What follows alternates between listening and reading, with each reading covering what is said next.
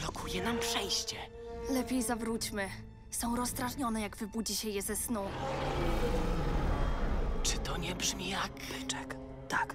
Ten ryk ciągle jeszcze mi się śni.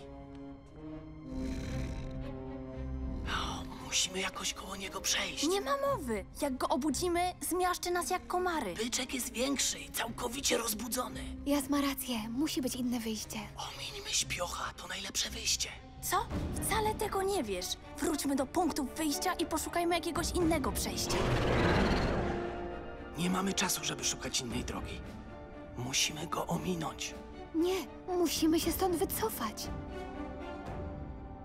Omińmy go.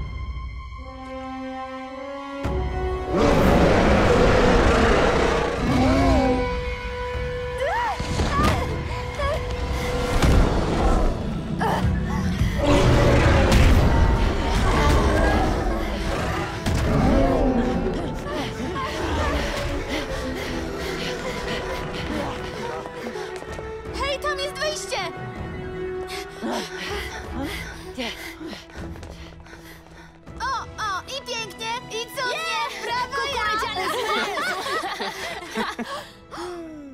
Tam jest mapa.